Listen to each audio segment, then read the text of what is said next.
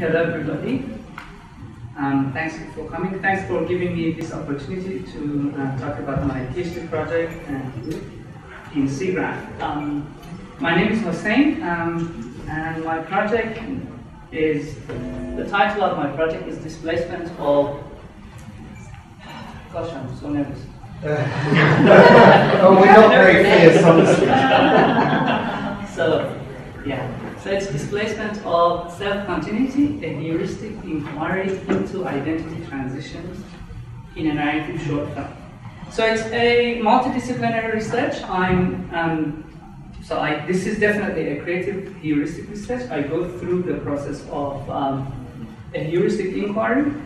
I um, you know try to apply computer graphics um, knowledge as well plus a lot of um, psychological studies that I will explain um, about it. Um, let me talk about a little bit about myself. I've been animation and visual effects artist for more than 18 years.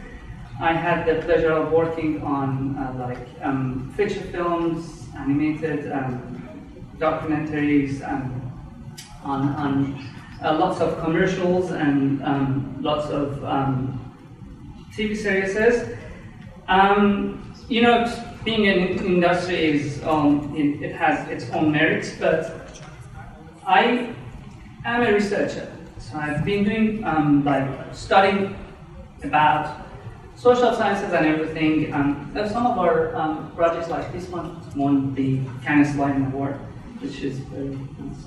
Um, but I'm an artist too, so I do a lot of arts. I um, and I enjoy uh, writing, creating paintings, drawing, um, and I was wondering how I can contribute to the body of knowledge and cast light on some like dark corners of um, of human like experience by doing the research. So you might have um, noticed that heuristic research um, phrase within the title of my research. Um, what is that? so um, let, us see what, so everybody knows what research is. So, um, so let's, let's give an example. We're going to do some research on dogs.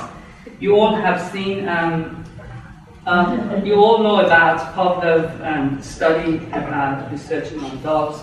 Just imagine that you continue and you do every sort of scientific research on dogs. And you would be able to understand like how their brain, brain work, how their social life is, how their you know, biology is, like their breed and everything. But still, there's a question that remains unanswered and how is to be adopted. So what is the quality of being a doctor? So we wish that we would have been able to interview a dog, ask questions, how do you feel? Talk about that, let us know. Um, and the dog would start um, going through that process, but unfortunately we can't. But what about humans? So when it comes research on humans, there's plenty. So whatever we do, like whatever you've heard today, and whatever we do is all about ourselves. It's for humans.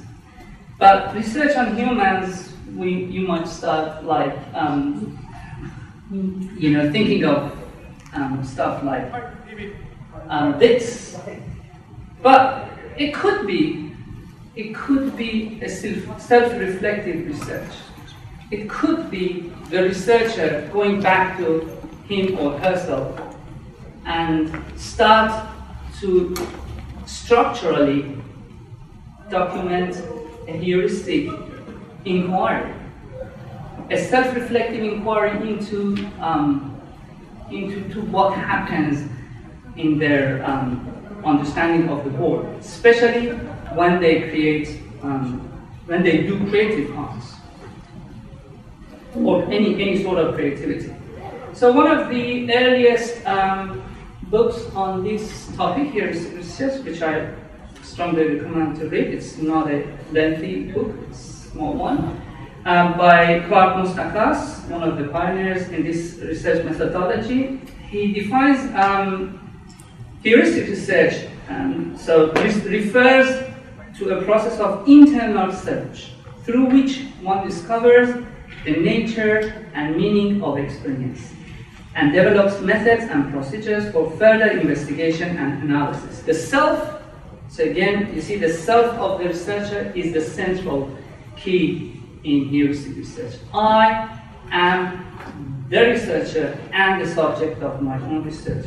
The self of the researcher is present throughout the process and while understanding the phenomenon, uh, the phenomenon with increasing depth, the researcher also experiences growing self-awareness and self-knowledge. So it's me trying to uh, add to the body of the knowledge, yet trying to do, go through a process of self-knowledge, which happened to me in this research. As um, he explains, the process of heuristic inquiry goes through these stages. Identify with, with the focus of um, the inquiry, self-dialogue, tacit knowing, intuition, indwelling, focusing, and finally, internal frame of um, reference.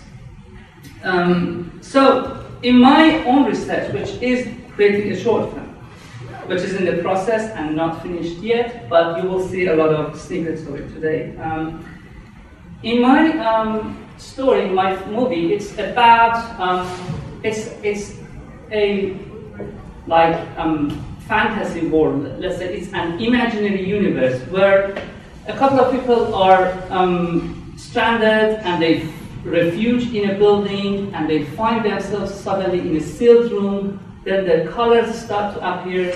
They start to communicate with colors but, and then they realize if they paint themselves, they would be able to survive. By getting exposed this, to this constantly changing environment, so the environment they're living is constantly changing. It's me.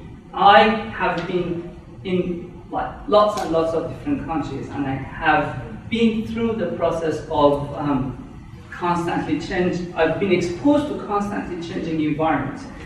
And, um, but the question is what happens to their identity? So these people start to like, to be able to, to survive, they have to paint themselves, to be able to travel through these painted, painted world and universe. And um, the question I'm asking in this um, heuristic research is what is the potential of a narrative animated film as a device for unpacking and reflecting upon identity change in individuals transitioning through displacement. So um, there are plenty of studies on um, identity and human identity, especially uh, when our identity is exposed to a constantly changed environment, which is a critical condition. Um, so like when we, we are displaced internally or externally. So in my case, I've been displaced externally, my, my location of life. But this displacement can be can happen like internally, like someone um, who who comes out with a new sexual orientation or um, starts to find out new set of friends. So it's all about understanding that self-continuity and identity. So my heuristic research is kind of like a um, is a creative inquiry um, to re-examine these um, you know theories and ideas, which I'm gonna explain. So when we are born, um, the sense of self is not there, basically, um, and and and we uh, we develop that. So we create this encultured self by getting exposed to the others. We start to say, okay, this is me, these are the other people, and this is how um, we start to like um, develop a sense of self. And uh, we, that's the beginning of forming the identity. Then we start um, to join different groups, like our friends in the school, um, fans of a football team, um, our nationality, um, a religion or ideologies, um, like lots and lots of things. And then being part member of these uh, groups require us to, to behave in a certain way. So we develop behaviors accordingly. So that collective sense of uh, continuity adds to our identity.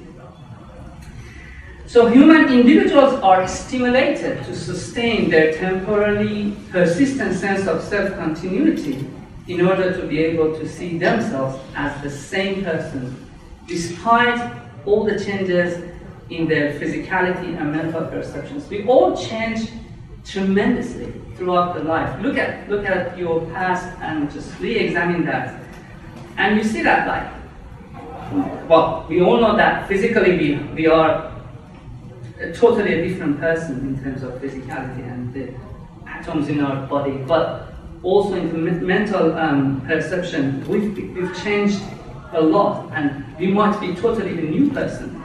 But still we have that sense of self-continuity. Um, specifically one of the areas that I'm gonna um, exploring is, so I, as I explained, this kind of identity is, is shaped by us being connected to a lot of different groups. So let's say you are displaced to a new um, situation. So you go through a transitional phase. Many of us are disconnected from the previous connections, but not connect, yet connected to, to a new um, um, group of um, identifications. So it's a limbo that we are, you know, kind of um, disconnected from everything. So it's like um, it's it's it's one of the focus of the identity transition. And studying that um, area transitional phase is not possible by understanding memory. Because throughout this research when I mention um, um, identity I refer to autobiographical memory. So um, that's why my second supervisor, Professor um, Donna Rose Addis, uh, is a psychologist, is a neuropsychologist, and um, and the, the so in like one of his uh, her quotes, uh, there is uh, something inherently human about both the capacity to contemplate who one is and the capacity to remember one's past. And I use um, this model in my research, which is a complicated like matrix of um, episodic autobiographical memory and semanticized um, uh, autobiographical memory. So by episodic, like I just had this morning um, peanut butter and honey, and so that's an episode of my, my life. But I love uh, peanut butter and honey. I can I almost have it for every day. So so that's that's a semanticized part of um, my memory. But when did that when did that started? When I started developing my love towards, um, I have a very rough idea about it. I don't know. It's it's another. So and then that self can be analyzed um, as an I self, which is the subjective sense of self, and me self, which is the content of the self. And um, I go through this process of, so like, as you see, self, self continuous self seems cohesive, but it's convoluted. So that was uh, my, the theoretical side of my study. But on the practical side, I not, I'm not only writing a thesis, but I'm creating art. So a good you know, a good thing about doing a PhD is that you have access to all those university um, um, resources and you can, can do um, experimentation. So like when I work for the industry, I am like, I always wanted to do, to, to, to create in a certain way, but now it's, I'm free to do a lot of experimentations. I started to do a lot of um, deep learning and neural network, applying the current, the existing knowledge. I'm not developing any um, smart, intelligent things that you guys are, are doing. Actually, I'm using your works, and I leave it, and I create art through that, and I um, and I reflect back to you. So I started reading through a lot of like papers on um, deep learning and neural network, um, and um, non-photorealistic rendering. I am doing a lot of photogrammetry and laser scanning. So this was my early versions of um, photogrammetry setup that I made at uni. So, and, and the result was fairly okay. Um, this is my Sarah, one of my one of my actors in my movie. She's been scanned, um, but by like by expanding the the fixture, uh, I could get like very good um, result. This is Marco and my other actor. Um, so like this is him within the Houdini environment who's been like overheard from me. I did a lot of um, laser scanning, which the result can get into a good um, output by processing it. You see that I would have been able to create my digital human. Um, so because I want my characters to perform and act, so that's why I do a lot of. So this is like one of the early renders of my main um, character. Uh, she's an actual actress. So I do a lot of texture painting, literally. That means I have printed um, the UV mapping on canvas and I paint on, on that. So it's texture painting, but in a, in a literal way. So, so a lot of experimentation on that side. Uh, the, the, initial um, result is, is, is nice because I want that quality of um, you know paint on canvas, yet the realism. Um, I use a lot of mocap. We are um, happy to have a lot of um, facilities at AUT. Um, so, because I want a, a proper um, performance captured. So because uh, that's like acting would resonate the, the, the, the exploration of identity um, for, for, my, for my actors better. So this is them in a rough sea that they're both over tense. So you can track my um, exploration week by week on my uh, blog, hosseinnajafi.com slash Stella, which is the documentation of my PhD progression. Thank you so much. Jackie, do you want to?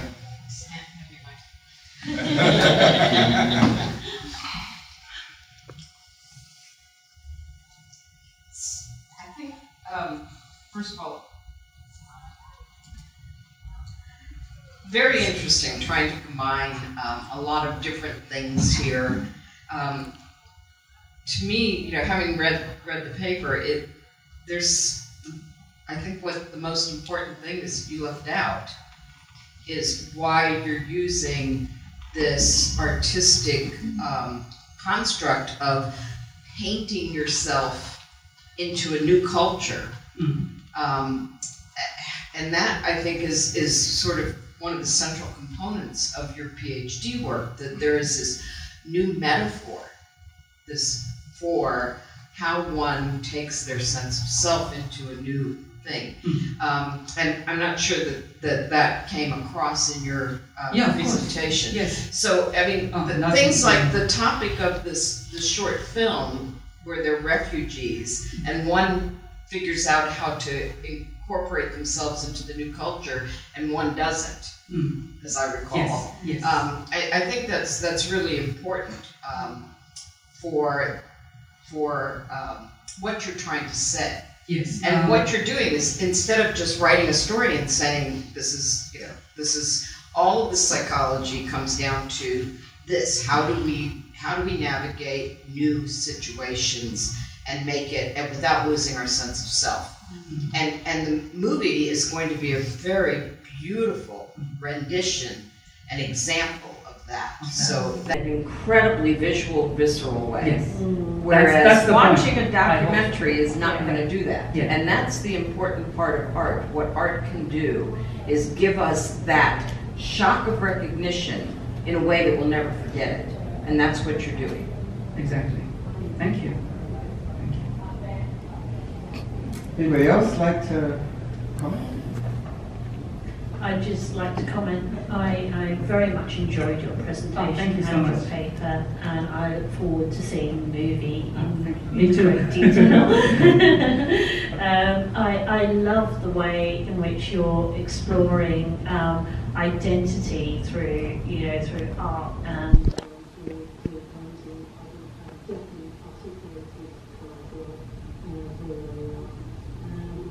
I, I think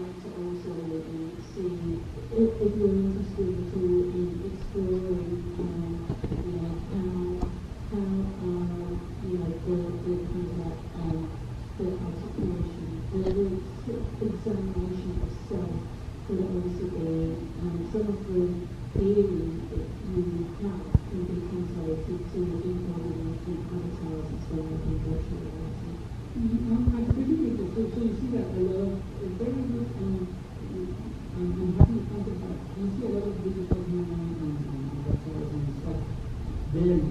Then, but at some point I, I just realized it's too broad.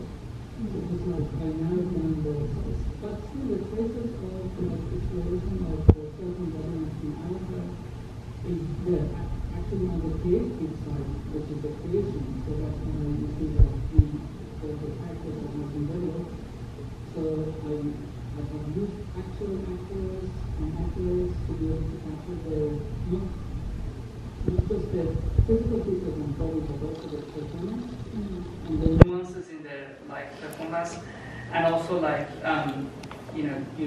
motion capture and photography. So, but then I I thought okay, I have to na- keep narrowing it down so Mm. to, to be able to focus onto the main creative artistic creation. through art in in in an embodied uh, like in a context in virtual reality as Mm. well, Mm. rather than Just Yeah, moving, yeah, yes, yes. Future work. Future work. future work. Second history. When I come to SIGGRAPH, which I like about SIGGRAPH, is uh, I usually come as a technologist. You understand this? And I'm looking at presentations and evaluating them technically, how do they, you know, the questions, how do they prepare. And then I get confronted with a presentation that is, for lack of a better metaphor, right brain, holistic, I'm very humble your and I have to do an identity shift. and, uh, and, and, and there's actually this inner turmoil that goes on. Is that, and then when I make the shift, the evaluation is entirely different. What did I learn? How did this, you know? But I, I walk out of here thinking I want to pick up my painting again. So Yeah. that's my evaluation of the presentation.